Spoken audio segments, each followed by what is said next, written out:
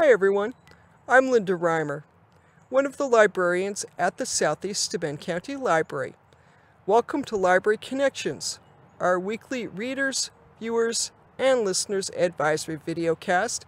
And as you can see, I'm ready to welcome summer this weekend.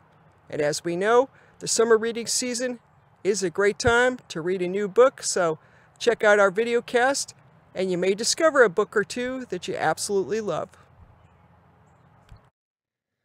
Library Connections number 57.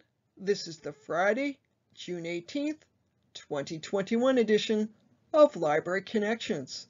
And it's almost summer. Summer will be arriving this weekend. Hooray!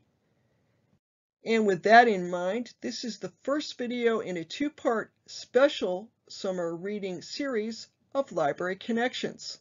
Seems like a good time to offer some summer reading tips since the season is upon us. We will offer two special summer reading editions this weekend next, so you can binge read some of the best books of the year while at the lake, the beach, while in your backyard, or while sitting on your couch in front of the AC or fan if you're anything like me and not a heat fan. But wherever you decide to read this summer, I'm going to offer 20 great books that you might enjoy this summer, 10 this week and 10 next week. And on the following week, which is Friday, July 2nd, I'm going to offer a special Independence Day edition of Library Connections, spotlighting great books, audios, and streaming titles that are set during the founding era of our country. And don't worry, they won't all be nonfiction although I will definitely include David McCullough's 1776. It's very accessible and it's one of those nonfiction books that reads like fiction.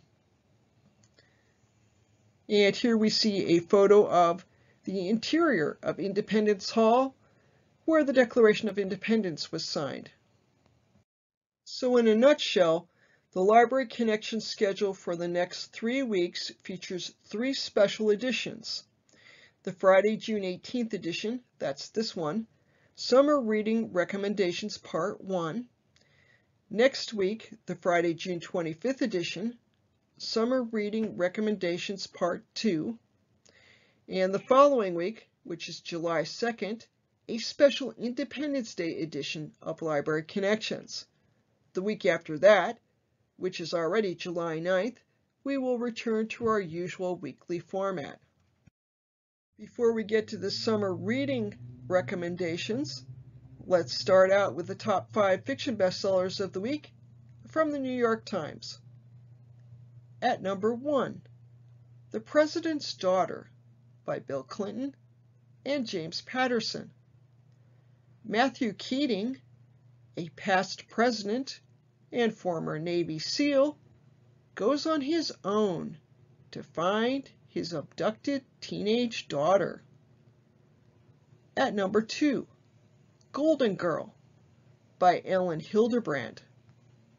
A Nantucket novelist gets one final summer to watch what happens from the great beyond. At number three, Tom Clancy, Target Acquired by Don Bentley a cushy assignment to help the CIA puts Jack Ryan Jr. in the sights of trained killers. At number four, The Last Thing He Told Me by Laura Dave. Hannah Hall discovers truths about her missing husband and bonds with his daughter from a previous relationship. At number 5, Malibu Rising by Taylor Jenkins Reid. Four famous siblings throw an epic party to celebrate the end of summer. But over the course of 24 hours, their lives will change forever. And I have to say, that book I know is set in the 1980s, and we'll pretend that the four famous siblings are at the end of their summer but as we're at the beginning of ours this weekend, we'll just imagine them throwing a great party at the end of summer in the 1980s. And we'll get to enjoy weeks and weeks of summer here. Okay, I'm digressing. Moving along to the top five nonfiction bestsellers for this week. At number one, Killing the Mob by Bill O'Reilly and Martin Dugard. The 10th book in the conservative commentator's Killing series looks at organized crime in the United States during the 20th century.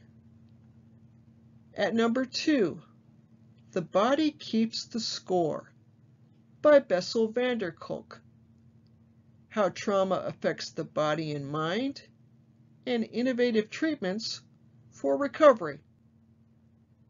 At number three, What Happened to You by Bruce D. Perry and Oprah Winfrey. An approach to dealing with trauma that shifts an essential question used to investigate it.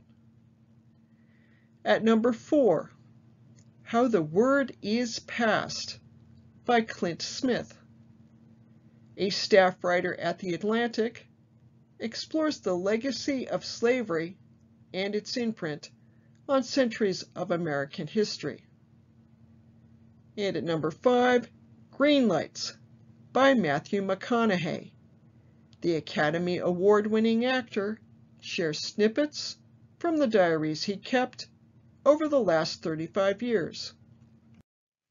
And without further ado, here are our first 10 summer reading recommendations in alphabetical order because, well, being a librarian, not surprisingly perhaps, I like to have things be in alphabetical order. So they're in alphabetical order, just FYI, so people don't think maybe the first recommendation is the best. I don't mean to indicate that. I think these are all top-notch books.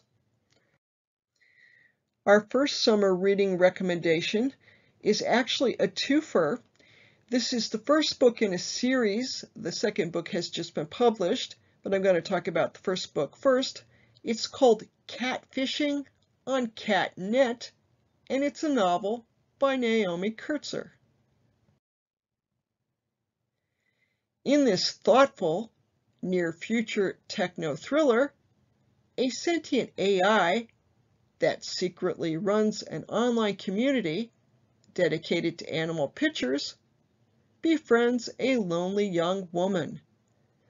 She spent her whole life fleeing her violent stalker father. Unable to make any lasting connections in meat space, Steph, age 16, has found a sense of community and acceptance on CatNet unaware that the admin, Cheshire Cat, isn't human. When she and her mother move again, this time to a tiny Wisconsin town, Steph doesn't expect to be there long, and she definitely doesn't expect to make friends, but ends up with kind and witty IRL companions such as Artsy Rachel. After attempting to help the solitary teen, Cheshire Cat reveals their true nature, then goes offline, propelling Steph and her friends to uncover the dark secret lurking in her family's past. Alongside the uplifting message about inclusivity, diversity, and found family, Characters of various ethnicities identify as gay, bisexual, non-binary, asexual, and still exploring. Kritzer's take on a benevolent AI is both whimsical and poignant. An entertaining, heart-filled exploration of today's online existence and privacy concerns and that is the Starred Publishers Weekly Review. And on a reader's note, as I mentioned, Catfishing on CatNet is the first book in the CatNet series. The second book, titled Chaos on CatNet, has just been published and continues Steph's story. Our second summer reading recommendation is the new novel The Charmed Wife by Olga Grushin.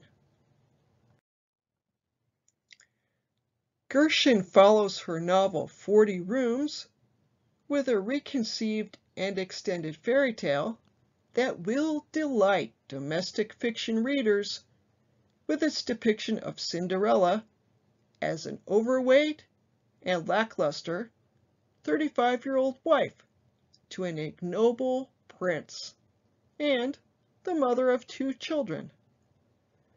Grushin achieves a fairy tale style and brings in characters from the works of the Brothers Grimm and Charles Perrault. The plot thickens when Grushin unveils a despondent Cinderella who, after trying other solutions, is now intent on exacting revenge on her husband. She finds a witch in a cave who is willing to grant her wish she wants her prince dead. As the potion brews in the cauldron, flashbacks reveal how this happy ever after marriage ceased to be so. The mystery of how a woman who has everything would resort to drastic measures is at the core of the book and pivots the fairy tale back to its moral roots. An element of suspense is worked into a tapestry of new and modern backstories, while nostalgic storylines add a bit of fun. There is even a side story about Cinderella's mice that deserves its own separate book. Surprising revelations and some snark provide the finishing touch in this richly imagined, genre-bending retelling of, at its heart, a tale as old as time. And that is the Booklist review. Our third summer reading recommendation for this week is the new Laura Lippman novel, Dream Girl. Successful novelist Jerry Anderson, the protagonist of this delicious literary thriller from Edgar Award winner Lippman, has moved to Baltimore from New York to be near his ailing mother. He has barely settled into his duplex penthouse when his mother dies. While mulling over his agent's suggestion that he write a memoir, and trying to overcome the rising fear that he'll never write again, Jerry slips and falls down his dangerous, but artistically designed, staircase. His injuries are severe, and he's confined to bed and cared for by round-the-clock nurses. Befuddled by painkillers, Jerry's mind drifts back over episodes in his life, his childhood, the highs and lows of his three marriages, his book tours, and teaching jobs. One night, he receives a phone call from a woman claiming to be Aubrey, a character in his first and still royalty producing novel, Dream Girl.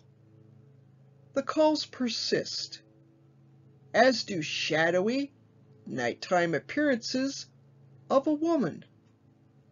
He scrambles to separate truth from possible hallucinations until one morning he awakes to find a woman undeniably dead in his bed. Perceptive, often amusing insights into a writer's mind make this a standout.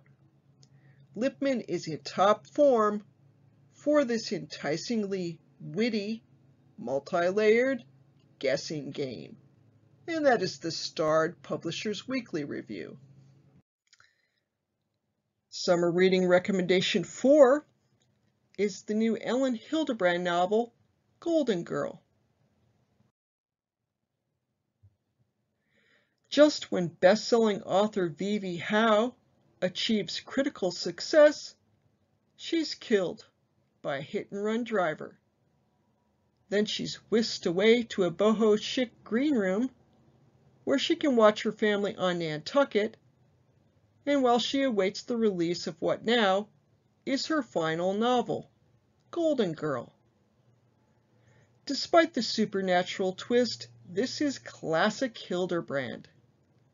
Multiple perspectives, those of each of Vivi's three young adult children, Willa, Carson, and Leo, her ex-husband, his girlfriend, the chief of police, and a Greek chorus of Nantucketers, to name but a few, reveal inner turmoil and secrets, including the high school boyfriend nobody knew about, who inspired Howe's Golden Girl. The investigation seems to stall when evidence disappears, until a culprit who seems a little too likely appears. But as always, the plot is secondary to the reading experience, or what I'd call the reading journey, as Hilderbrand once again transports readers to Nantucket.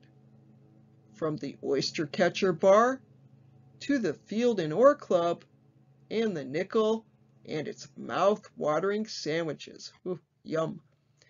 The meta aspects of this novel about life and forgiveness read like Hilderbrand's swan song. But hopefully, she has many more Nantucket tales in store. And that is the booklist review. And now I'm going to be dreaming about mouth-watering sandwiches until I get one. Something like this Dagwood maybe, although I think that's a Dagwood for three. But I'm going to have to make myself a sandwich, I think. Our fifth summer reading recommendation for this week is the new Steven Rowley novel, The Guncle. In this heartwarming, hilarious novel from Rowley, an erstwhile sitcom star ends up taking care of his niece and nephew. Patrick O'Hara is four years out of the limelight and living in Palm Springs, California, when he learns his best friend and sister-in-law Sarah has died after a long illness. When Patrick is in Connecticut for the funeral, widower Greg confesses he's developed an addiction to painkillers. And Patrick agrees to watch over Greg's children, Maisie and Grant, ages 9 and 6, while Greg spends a few months in rehab. As Patrick navigates his grief and responsibilities for the children, who call him their uncle, or Gup for gay Uncle Patrick, he contemplates a comeback. Fortunately, he has help from a new agent, the Throple of Three Men Next Door, and his sister Clara, despite Clara's skepticism over the value of Patrick's screwball antics for the children. Rowley finds humor and poignancy in the snappy narrative, ordered by a series of Guncle rules and deepened by lessons the grief-stricken children learn via Patrick from generations of gay life. Readers will find this delightful and illuminating, and that is the publisher's weekly review. Summer reading recommendation number six for this week is an action adventure book. It's called In the Company of Killers by Bryan Christy. International crime journalist Tom Clay closes in on his nemesis, ivory smuggling kingpin Aras Botha, and finds that he's been asking all the wrong questions. Years ago, Clay was recruited as a CIA asset by Vance Eady, his editor-in-chief at The Sovereign, think National Geographic. Ostensibly to work on his own terms. When Clay's obsession with Botha results in Clay's closest friend's death, Edie promises a series of missions that will take Botha down. While Clay is in the Philippines, gathering intel on Botha's smuggling operation, however, the Sovereign is sold to a global tech powerhouse, the Perseus Group, and Edie retires.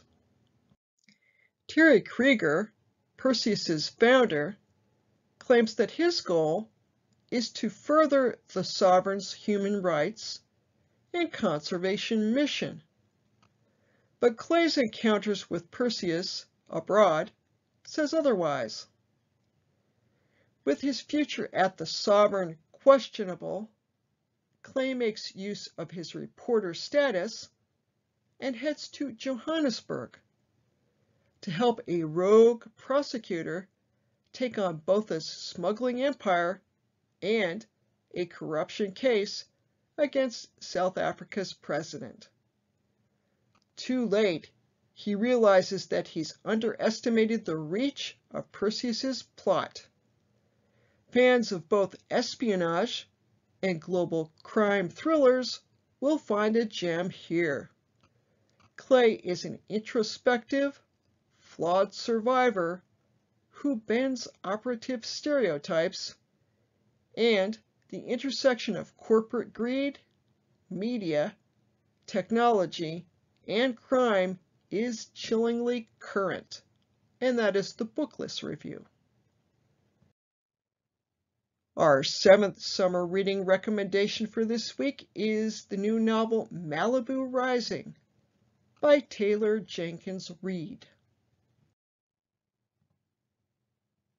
Nina, Jay, Hud, and Kit Riva are household names in 1983, as much because their father is rock star Mick Riva as for their surfing talent. None of them wanted to live in the spotlight, but despite Mick taking off long ago, they do. Then it's the night of the annual Riva party, where everyone wants to be, except maybe responsible Nina, and when anything can happen. Over the course of 24 hours, the Riva siblings will have to decide if their futures will be driven by the legacies of their parents or if they'll share the secrets that just might let them choose their own paths. Structuring the novel to take place over one day and night, Reid asks if it's possible to keep only parts of what you get from your parents. Multiple perspectives, including flashbacks to Mick and June's courtship, intricate relationships, spot-on surf scenes, plus a wild party that could only have happened in the 1980s, make for a fun summer read that challenges the idea of passing on what we inherit. Recommended to fans of Jennifer Weiner and Katherine Center. High demand backstory. Reid's fan base has grown with each novel, and with multiple books in development for television, Malibu Rising will be the sought-after book of the summer. And that's the Library Journal review. And definitely that's a summer read. Our eighth summer reading recommendation for this week is the only nonfiction book on this list. I tend to think that most people prefer fiction titles to nonfiction, but this one was just too good every so often you find a nonfiction book that reads like it's fiction, if you know what I mean. It's just perfectly accessible, it's fun, so this is that book for this list. It's called Mergers and Acquisitions, or Everything I Know About Love, I Learned on the Wedding Pages by Cate Doty. Former New York Times editor Catherine Doty takes readers through her experience of finding love professionally and personally in this engaging memoir. As a writer for the paper's wedding section, Doty spent her days confirming details of the lives of the rich and famous, whose nuptials were slated to be featured in the section. All the while, she was searching for love herself. Seamlessly blending stories from her upbringing and the ups and downs of her romance with a fellow reporter, Doty breathes life into her memoir with these touching, often humorous, tales. While she claims that she learned all she knows about love from the wedding pages, it's clear from her writing that she also grew up among a loving family and circle of friends. After years of covering weddings, brides and grooms, Doty develops an understanding of love and marriage. She postulates, despite an industry pretty much dedicated to encouraging us to believe otherwise, these fancy weddings don't mean anything unless the love is real. She concludes by recounting her own path to marriage as a white woman and reflecting on the racialized history of domesticity. Verdict. Doty's love-filled memoir will delight readers, hoping for an inside look at the wedding section and will also be loved by fans of uplifting memoirs. And that's the Publisher's Weekly Review. Our ninth summer reading recommendation for this week is the new novel by Zakiya Dalila Harris. It's called The Other Black Girl. In Harris's slyly brilliant debut, a young editorial assistant is thrilled when her glaringly white employer hires another black woman but it soon becomes clear there's something sinister about the new girl who isn't what she seems. Young, literary, and ambitious, Nella Rogers has spent the last two years as an editorial assistant at Wagner Books, a premier New York City publishing house, where for the entirety of her somewhat stalled tenure, she's been the only black person in the room. How she feels about this depends on the day. For all her frustrations, she can't help but be a little proud of her outsider status. But still, she's excited when she detects another black girl on her floor. Finally, someone else who gets it. And she does, at first. Wagner's newest editorial assistant, Hazel May McCall, cool and self-possessed, is quick to befriend Nella, echoing her frustrations with the never-spoken racial politics of their office and encouraging her to speak up. But it doesn't take long for Nella to realize there's something off about Hazel, even if she can't quite put her finger on it. There's something weird about how easily she fits in among the higher-ups at Wagner, about the way she's instantly and universally beloved by top editors, the way her story, born in Harlem, daughter of civil rights activists, a grandfather who died protesting, exactly matches their ideas about blackness in a way that Nella's middle-class suburban childhood never will. And then, shortly after Hazel's arrival, the first anonymous note arrives on Nella's desk. Leave Wagner now. Hazel, maybe? And if Hazel didn't leave the note, then who did? Nella begins searching for answers, and in the process finds herself at the center of a dangerous conspiracy that runs far deeper than she could ever have known. If it sounds like a moralistic sledgehammer of a novel, well, it would be, if Harris were any less good. In her hands, though, it's a nuanced page-turner as sharp as it is fun.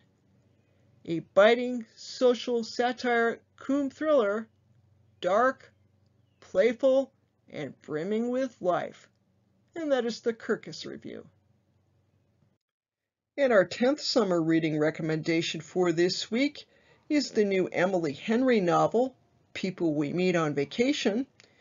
And they've got it right on the cover, just under the author's name there. It says, author of Beach Read.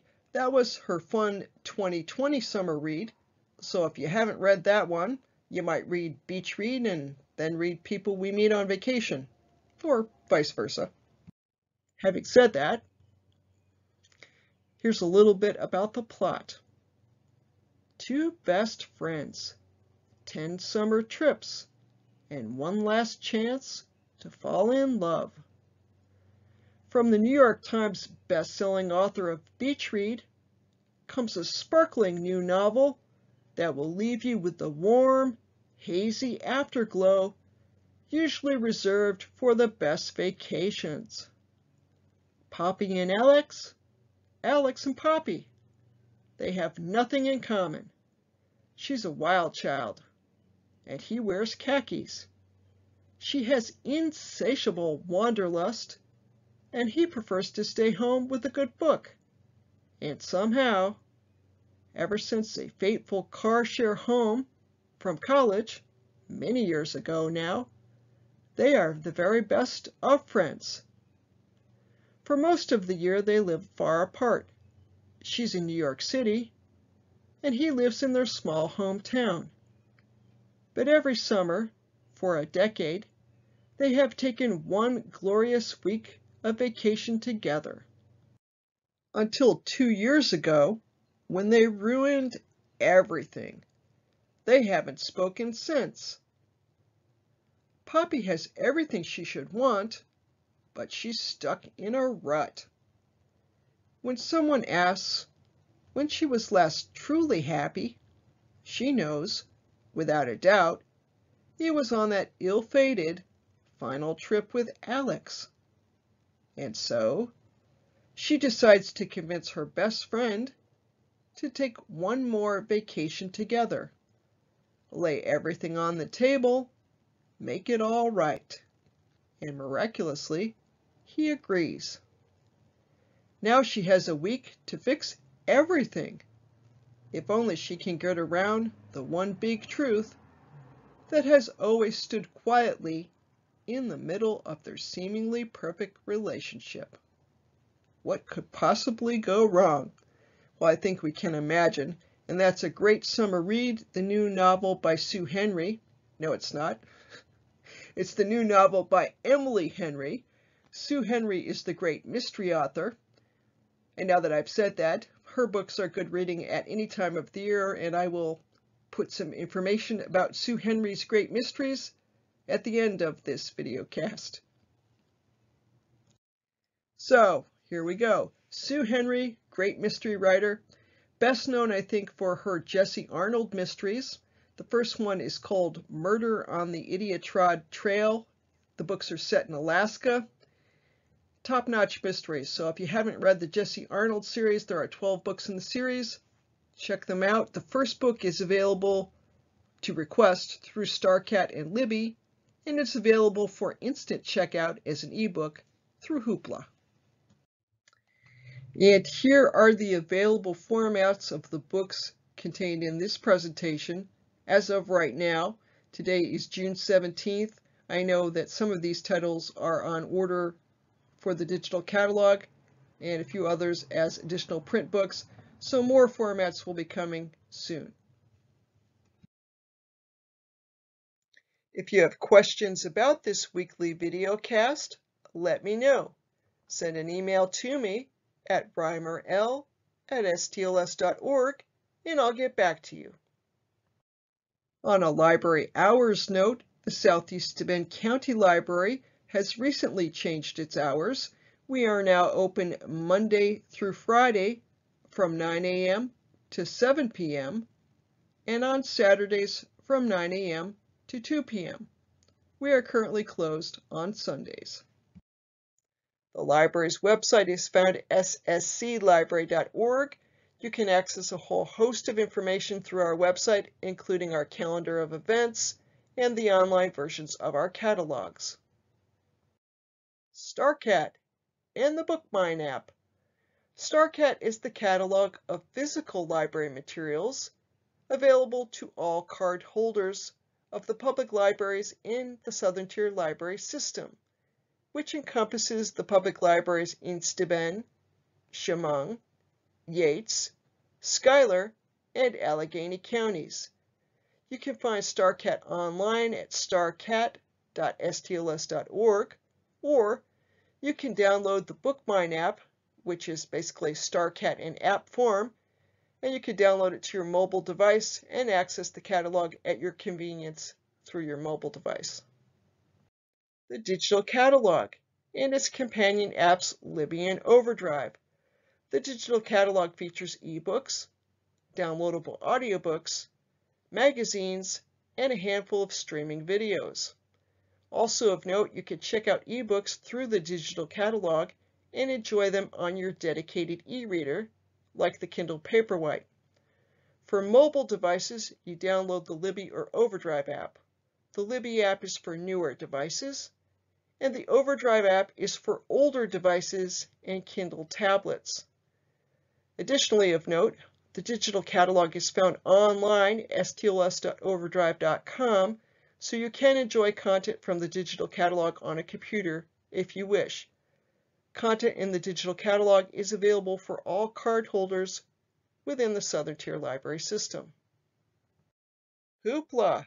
The Hoopla catalog features ebooks, comic books, full-length albums, downloadable audiobooks, and streaming videos, including both TV shows and movies. All Hoopla items are available for instant checkout for Southeast Steuben County Library cardholders with a maximum of six checkouts per month. You can download the Hoopla app to your mobile device, video streaming player, or smart TV, or you can go online to hoopladigital.com and check out materials on your computer and enjoy them through your desktop or laptop computer. Communicating with the library. If you have questions about library services during the pandemic, or really at any time, you are welcome to go the traditional route and simply give us a call. Our phone number is area code 607 936 3713. Again, that's area code 607 936 3713. You can also connect with the library via social media. The library has pages on Facebook, Twitter, YouTube, and Instagram. Library blogs. We have our Book Club for Adults blog found at ssclbook.club. And as you might expect, that features information on the monthly Book Club for Adults. We have the Corning NY History blog, which is our local history blog found at corningnyhistory.com. That features weekly postings that show photos of the area back in the day. And Creation Stationery, the Makerspace blog, found at creationstationery.com. That's the complimentary blog for our makerspace. We have the Story Musings blog, a blog hosted by the library's resident author and head of adult services, Michelle Wells, that can be found at storymusing.blogspot.com. And finally, Tech and Book Talk, a readers, viewers, and listeners advisory blog with occasional helpful how-to tech tips thrown in for good measure, and that's found at sscltech.com. And here are our references for this week. And that's the program for this week. I'll be back next week with a new edition of Library Connections. Have a great day.